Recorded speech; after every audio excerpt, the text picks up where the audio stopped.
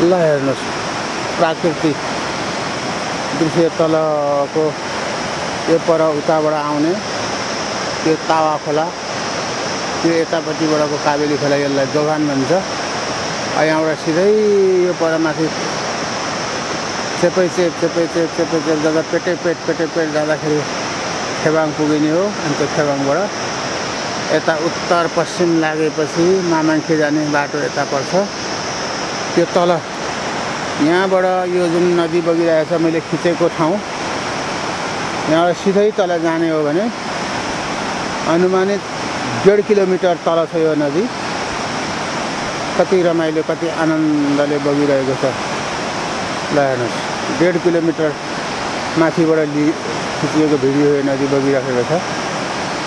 स्वच्छ पानी ल हेर्नुहोस् कति रमाइलो छ ल।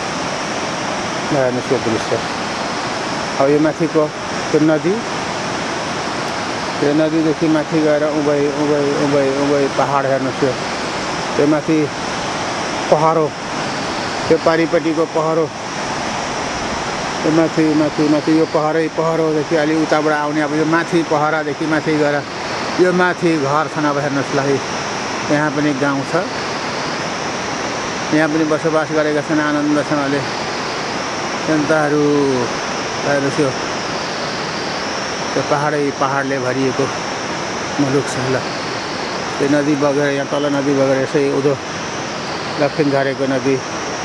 यी पाहाडका गाउँहरू यो माथि माथि चुचुरा हुँदो मान्छेको घरहरू छन्। त्यो माथिबाट अब आउँदै यी यतातिर मनोज बगिरेल ल कुदियो कि क्या अहिले? कुदेर आइयो कि क्या? ए होइन। हो ए ल ल ठिक छ रमाइलो हजुर? काबेली काबेली र तावा मिसिएको यहाँ दुइटा यहाँ दोभान मुनतिर। हजुर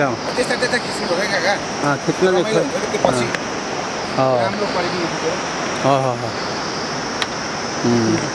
आफ्नो त अब यस्तै पाहाडतिरको यसो छेउछाउ किनार हेरेर कसले खिचिदिने? आफ्नो फोटो आफै खिचो म खिचिदिन्छु नि त। आनन्द ए आनन्द छ नि त चट्ट दोही भाइको आउँछ। म खिचिदिन्छु ल ल खै यता हेरौँ त दोही भाइको। ल।